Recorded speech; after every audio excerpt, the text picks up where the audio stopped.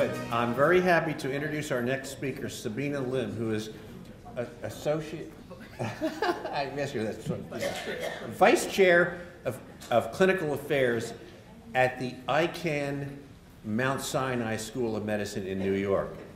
Now, Sabina is uh, the real deal because uh, the Icahn School of Medicine have just purchased Beth Israel Hospital, Roosevelt Hospital, and St. Luke's. St. Luke's Hospital in, in New York City. It, it's absolutely the largest healthcare conglomeration, whatever to call it, that I, I know of.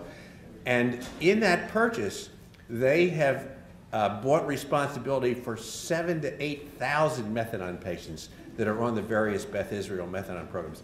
So her job is to try to integrate all of this together, and she's going to talk about some of her experiences. This purchase just started, was done in October. in October. It's a very recent, so she's right in the middle of this integrated uh, situation. Um, works with uh, Wayne Goodman, who's the chair of psychiatry, and Dennis Charney, who's the dean up there. So, Sabina, Thank thanks. You. Well, thank you and good morning. It's a pleasure for me to be here and to share with you um, our experiences literally at the very, it's really the very beginning stages of this integration process. And I know we'll be talking a lot today and what promises to be a very informative and is already a very informative and very timely discussion about integrated um, healthcare delivery models. And what I'll be talking about is really sort of integration at this really large scale and sharing with you one approach, one way that we're trying to figure out well, how are we going to create this system of care that serves um, a, a, an enormous um, group of, of people in New York City and beyond? Um, and so I just want to give it one caveat. I am not an addictions expert.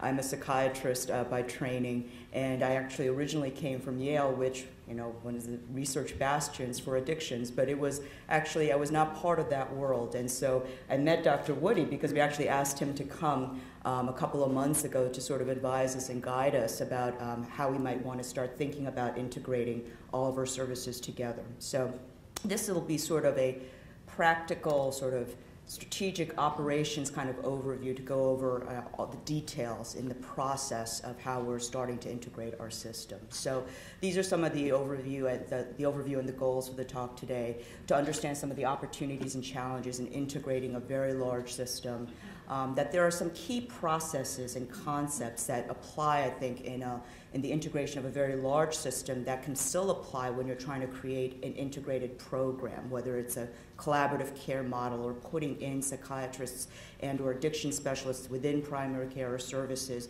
Some of the things are, are relatively parallel and actually can are sort of mutually influential.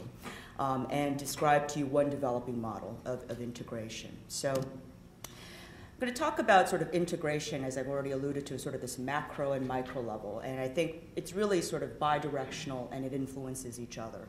So if we think about it, the biggest, at the biggest level with the Affordable Care Act, I mean, that's in many ways trying to integrate all of the services, of healthcare services, and not think about services being siloed in one place and sort of putting them all together. Ultimately, that's what everyone is trying to do healthcare systems. Systems are developing. It's not just hospitals and hospitals coming together, agencies and hospitals, agencies and agencies.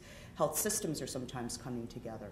But then there's the more micro level where there's integration efforts and work at departmental levels, at divisional levels, and certainly at developing integrated programs and services. And again, there's, uh, there's a sort of bidirectional, I think, um, uh, relationship that, that, that occurs and is necessary. So just to give a sense of sort of what's happening in terms of these mergers, acquisitions, combinations, there are all sorts of, uh, they're slightly different terms. Um, technically, the Mount Sinai and Continuum uh, health system was uh, technically, uh, the word was used was a combination.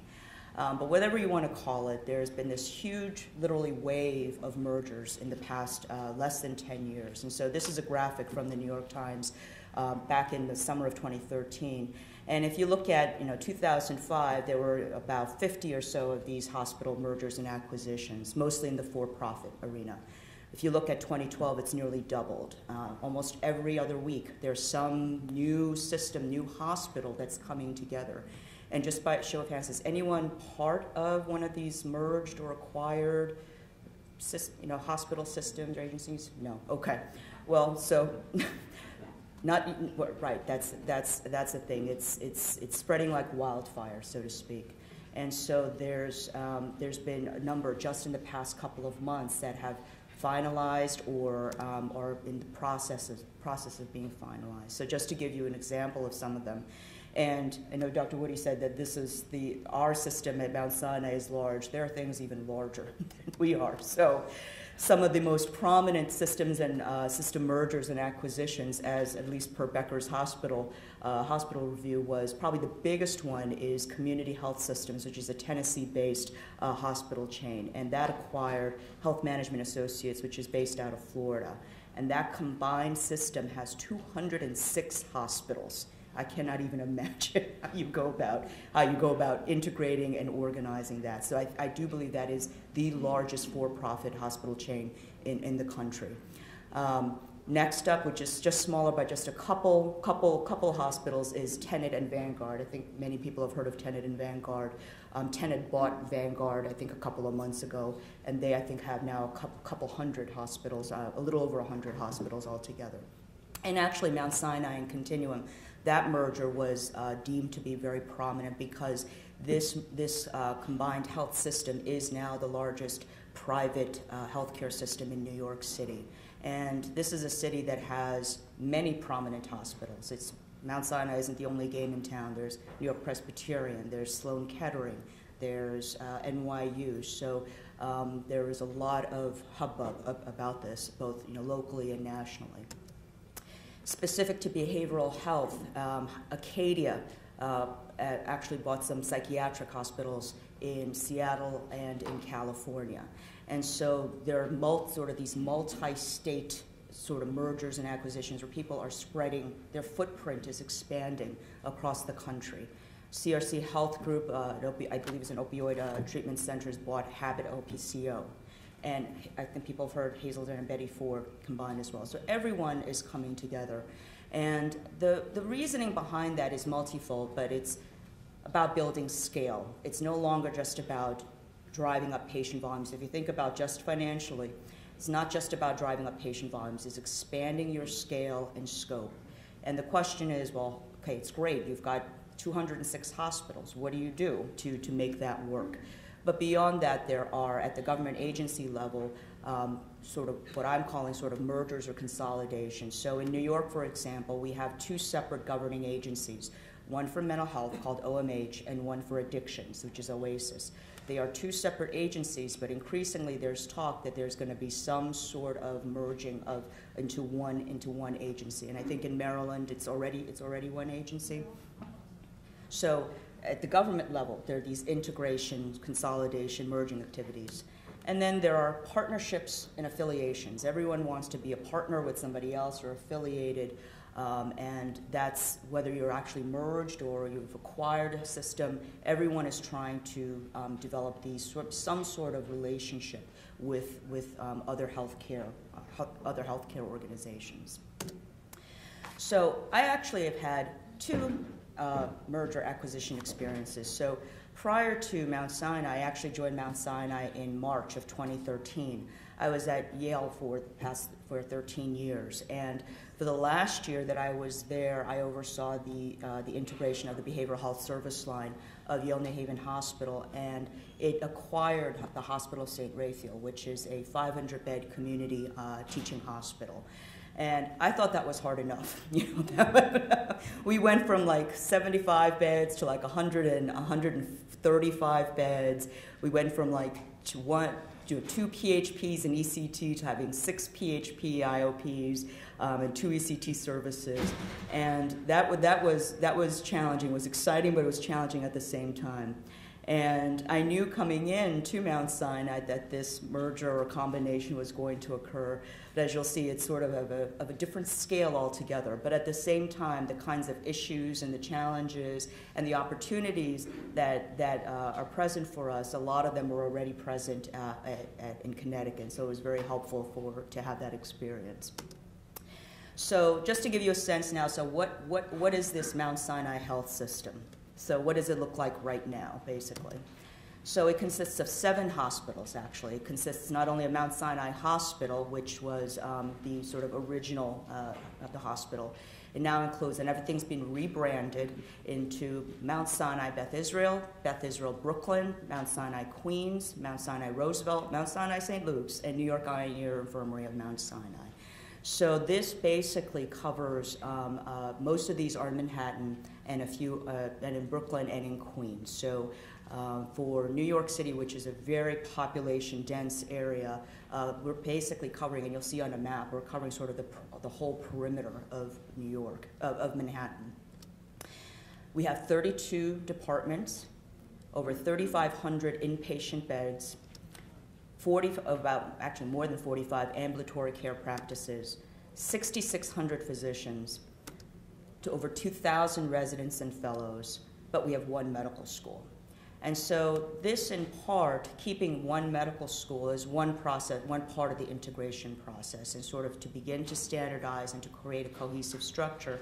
All the faculty members that used to be affiliated with uh, Albert Einstein or Columbia are now Icahn School of Medicine and Mount Sinai faculty members. So this just happened in October, and we're still going through, you know, just again, as I said, the very beginnings of, of this process of integration.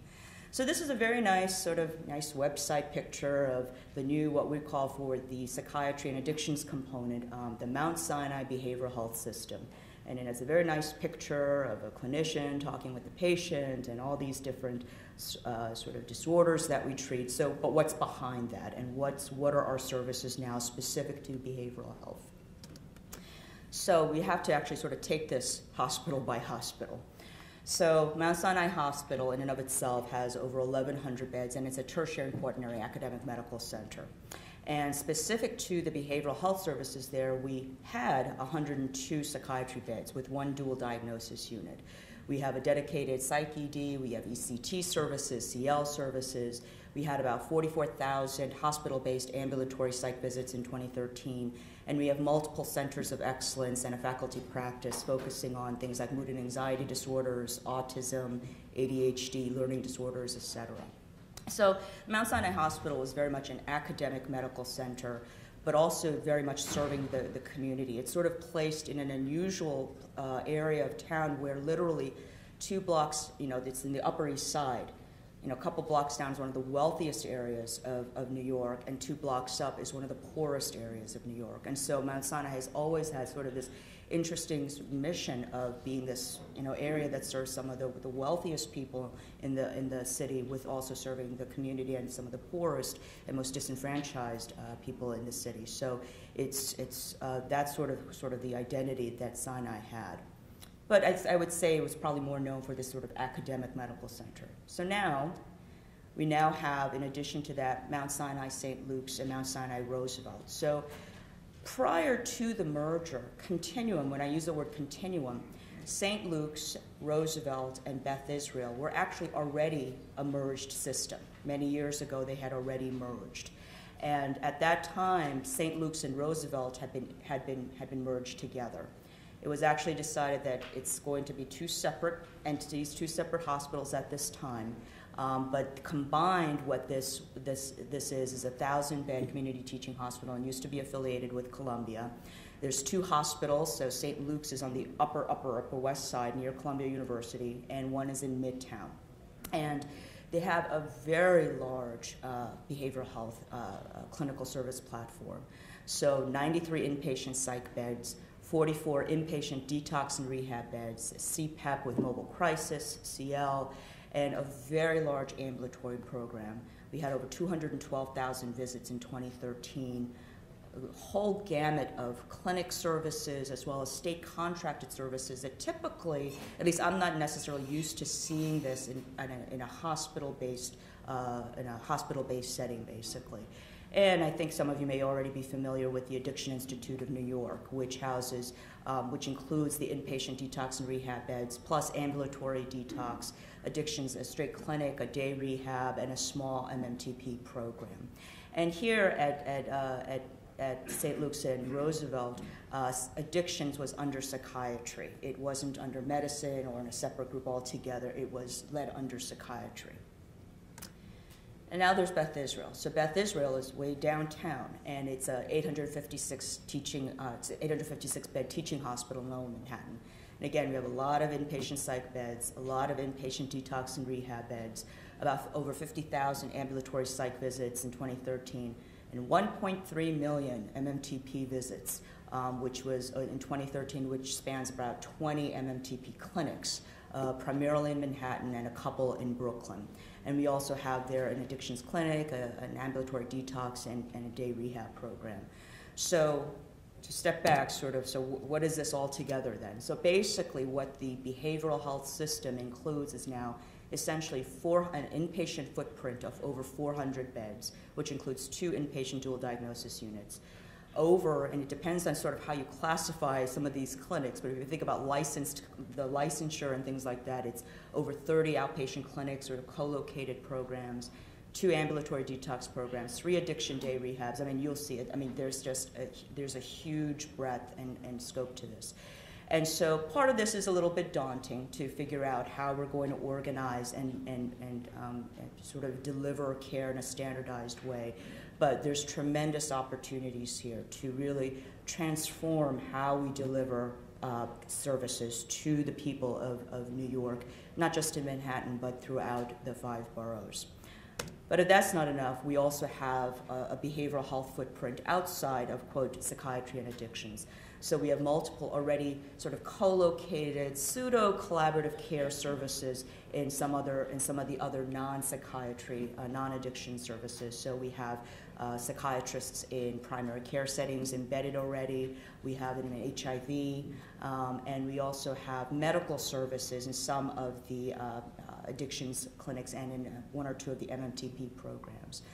We're also very much involved in the health homes. So there's, a, there's actually two health homes. Mount Sinai is part of one health home, and the uh, Continuum, the former Continuum, was actually the lead agency of a much larger health home, actually. So we're in the process of integrating and merging that as well. Mount Sinai also has a, has a Medicare ACO, and so so there's a multiple layers of integration. There's integration activities that we need to figure out within the department within the institution, within the health system, and sort of overall how we're going to uh, work together to really transform the, the care that's being given within the city. But the other important thing for people to be aware of is sort of what was some of the impetus behind this. And you've already heard about what's happening at the national level. But in New York, there's some very interesting things that are happening. And so, in some ways, we're fortunate because sort of stars are sort of a little bit aligning to a certain extent. Um, but there is great excitement because, um, sort of, quote, money is coming in, but it's not really a lot of money if you think about it. Um, about a couple of years ago, when Andrew Cuomo took over as the governor of New York, he uh, put together what's called a Medicaid redesign team, and he charged this group with transforming the care of, of, of, Medicaid recipients in New York and to show that you can that you will change outcomes, that you'll provide better care to patients and to decrease costs. And that if they could show, or we could show, that we could decrease Medicaid spending by X amount over you know, X amount of years, that the savings given to the feds, that part of it we be able to get, it hopefully to get part of the savings back and actually it started to work. And so in the past few years, they've, they've uh, saved about $17 billion.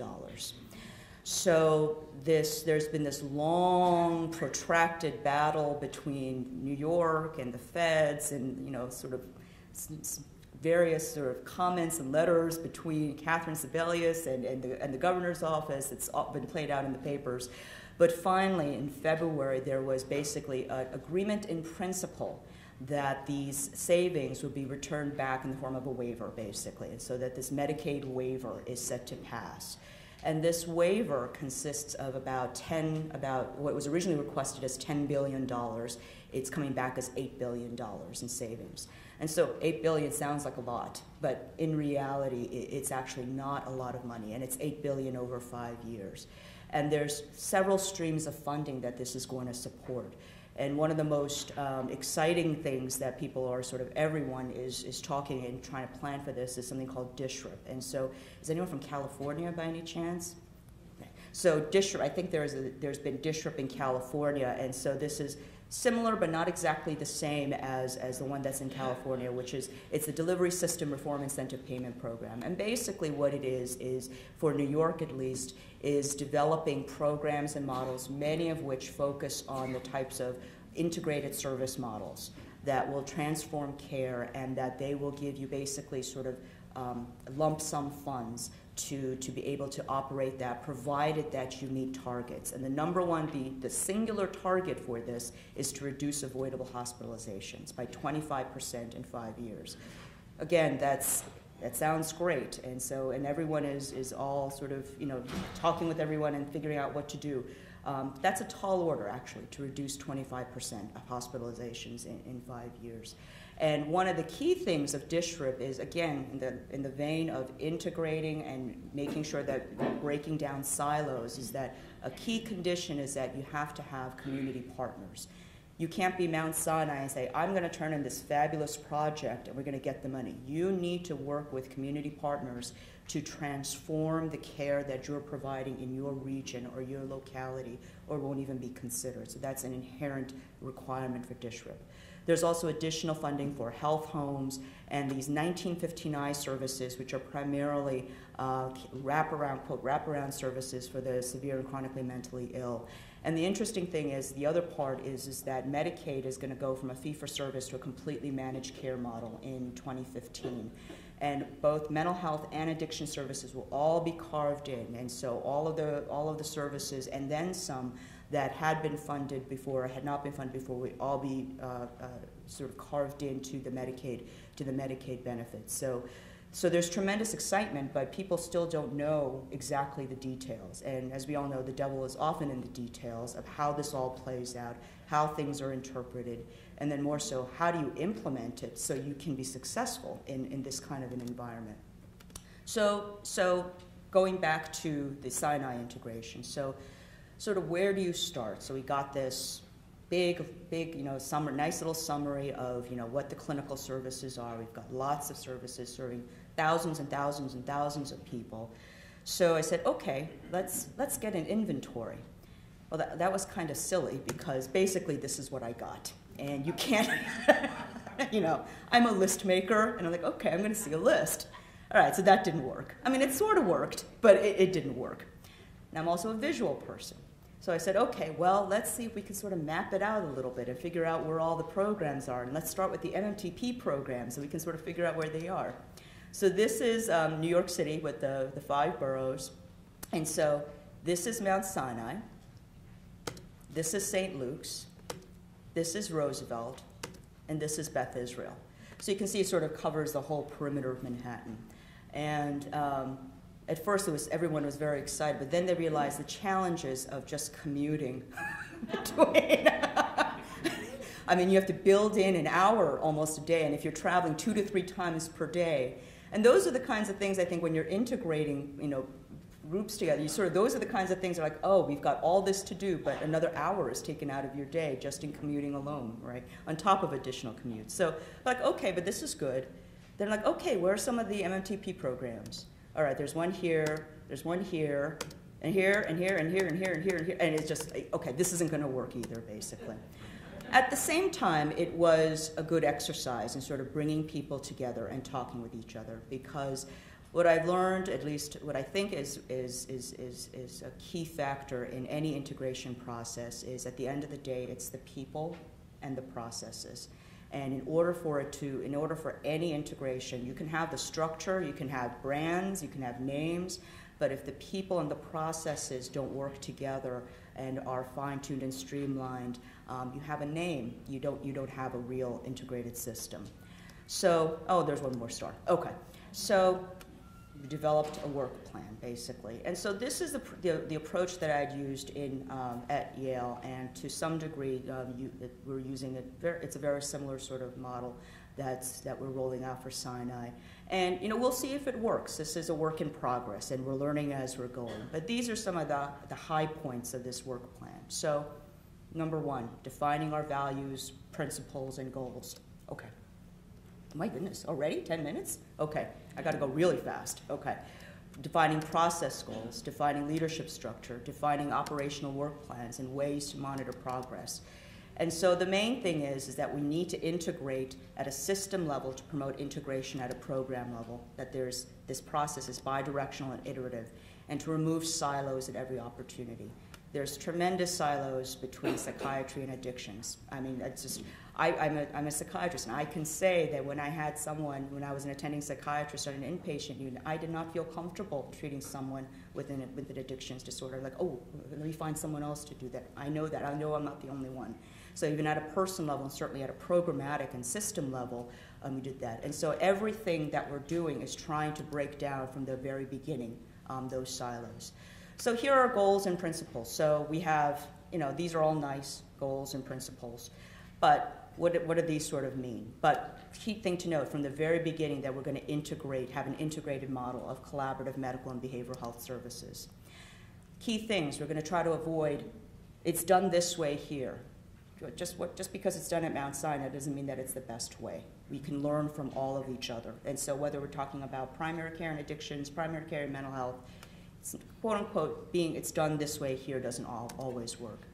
Always thinking about how you can do something versus why it can't be done. It's very easy to figure out when you have all these rules and regulations why you can't do something. But first and foremost, try to figure out a way how you can get it done collaborate assertively at every level. And at the end of the day, we expect a lot out of our patients. We expect them to go to a primary care doctor here, and then to your psychiatrist here, and to a case manager here. It's very hard. I mean, I can't even remember to go to set up an appointment for my doctor, for God's sake, many times. In order, I think, in order for patients' behaviors, quote unquote, to change, we have to rethink in the way the system is behaving, basically. And so, these are, I'm going to skip over some of these slides. But the other key thing is we identify process goals. You can have all these lofty goals, but if you don't have intermediate steps to figure out how you're going to get there, you need to think, you need to make sure that you have a clear work plan for it. The other clear, the other important part is leadership. So one of the key things that we did was we set up a steering committee and that we set up system clinical chiefs. So these clinical chiefs are responsible for the clinical programming throughout all of the campuses that have um, behavioral health services there. And we have a single leader for addictions uh, system-wide. And this, I think some of you may already know him, Rick Rosenthal. He is the, the director for the addictions uh, for the addictions uh, programs, and he is an, and he is part of the steering committee. And we also have multiple subcommittees. And I'll just give you an example of sort of what we've been doing in these subcommittees to try to, at least within psychiatry and addictions, to avoid, well, this is the way it should be done for addictions versus this is the way it should be done in psychiatry. So we have an inpatient clinical pathways and outcomes subcommittee. It's a way to sort of transform and standardize inpatient care.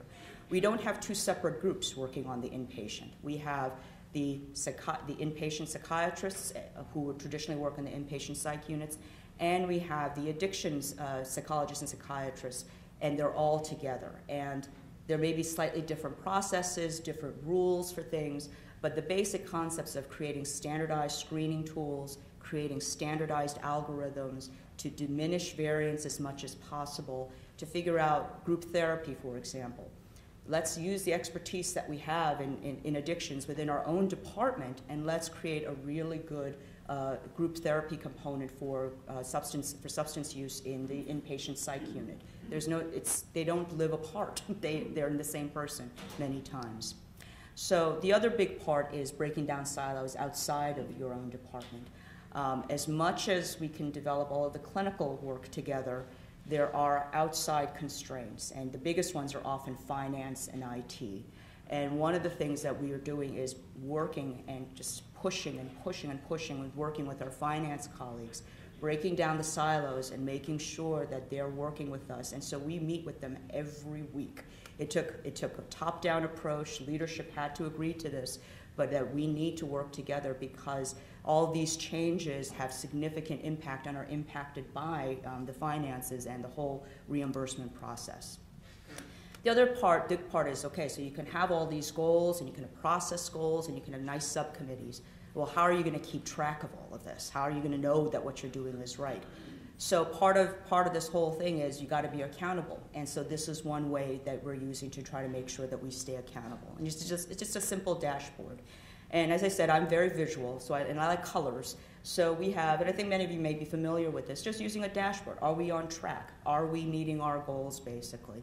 and we have our high level goals and our process goals and we make sure and we go over this every two weeks and we make sure that we're sort of on track and identify problems and obstacles as we go along. And really briefly and i know you'll be hearing more about this the whole rest of the day if we talk more now about specific integrated programs. So what is integrated care? So this is uh, sort of a humorous and, and somewhat simply, simple slide but basically, one way to think about integrated care is you have your head and the body, and integrated care is the neck. But again, you can't just suture on the neck. You gotta create the, the nerves, the blood vessels. Again, it's all the processes and all the communication and the pathways that are, that are there that you need to build together, basically. And integration is great, but you need a team and you need a process to keep each other accountable and a process for working together going to hear a lot about this already. The key thing is you hear a lot about co-location. Co-location is not the same as integration. And this is a SAMHSA slide that sort of describes the, sort of the spectrum or the continuum of collaborative care. And so you have at the left the, some of what we already do in basic medicine, and then to the most developed where there's a fundamental practice change. And it's a little bit hard to see, but you can see that part of this is sort of the location, but if you look down below, it's not just the location. It's how integrated are your teams? Are you just calling a psychiatrist when someone you think has a, has a, has a, a mental health or a substance use diagnosis? Or are you regularly reviewing together all your patients and thinking about together are, are you, um, are, you, uh, work, are, are you identifying and um, setting appropriate treatment plans for them as a team? So just quickly go over some, um, at a, sort of this more micro level, some of the integrated models that we've already developed or in the process of rolling out. So this is, um, uh, I'll just sort of quickly oh, go through this. So this is, we're, we're creating sort of this robust uh, mental health clinic within our primary care associates. And so this was just sort of to point out some of, with all the great talk about, you know, integrate collaborative care is like the big buzzword, but there are so many elements to make this work. And some of the key things are data. We often hear, we get asked all the time, we need mental health services, we need a psychiatrist. And then when we asked for data, it just wasn't the volumes that we thought that they sort of qualitatively felt. It's not to diminish the need, it was just very hard to provide additional resources when the data did not, quote, necessarily support that. Space this is probably like the biggest sort of obstacle. It took us two months just to go through how to figure out where to locate people and how to find space without re requiring capital renovation costs, because that would have been a deal breaker essentially. And all of these other things, and the other last thing I just want to point out is the reimbursement. Again, you can have a great model, and, and, it sounds clinically wonderful, but at the end of the day, unfortunately, you need to make sure that you get paid for doing this. And it's down to literally making sure you have the right process from the encounter to how it gets allocated on a P&L, basically. Is psychiatry or addictions going to you know, bear the expense, but none of the revenues are going to be associated with that? Now, again, in a hospital system, it gets exceedingly complicated, um, so that's always on our minds. But you know, down to every last detail, you want to sort of think about that. The other integration model that we're talking about is, and in the process of developing, is integration within psych settings. Again, instead of having a separate clinic that's located here, separate day treatment that's over here, addictions clinic that's over here, it's again not thinking about psych and addictions. It's about everything is, is going to be together wherever possible so that we have an integrated outpatient program where we have on one floor, and, and again, we got very lucky here, a clinic, a day treatment program, a new PHP, primary care services, and what we're calling and developing core addiction services. That no matter where people are, that we are going to train and we are going to develop some core addiction services based on some basic screening, screening and assessment tools, and being able to improve the access to and the identification of substance use disorders wherever they are, whether they're in medicine or in psychiatry or in, a, in, in the ED. And so this is just one, one last model where we actually combined physically uh, the mental health clinics and the addictions clinic into one setting. And so one of the best things about this is that there's a single comprehensive assessment center. And this center does the intakes for all these ambulatory psych programs. We're already doing that for the addictions programs. We're enhancing that. We're developing new and more uh, robust screening tools. We have a centralized reg area, easy referral between programs, and to make sure that there's greater clinical programmatic integration between the two, the two sets of programs. It's the same leadership, the same people. They all have to work together fluidly as a team. And of course, this will take some time to make this work, but you know that these are sort of the sort of the models that we're developing. And these are just some, some of the things. There are sort of widespread and much more big league sort of plans for transforming how we deliver care in the inpatient setting, thinking about how we identify and screen for patients, not just with mental health, quote, mental health disorders, but addictive disorders, substance abuse disorders in the inpatient setting, and developing a proactive behavioral health team that will go and identify people early on and connect them to treatment as soon as possible.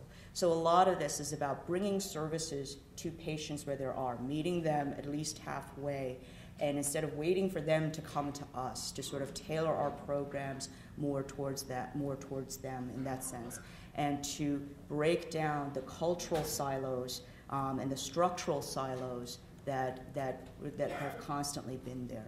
And at the end of the day, we're setting the bar very high. If you don't set the bar high, if you set the bar here, you're only going to get here.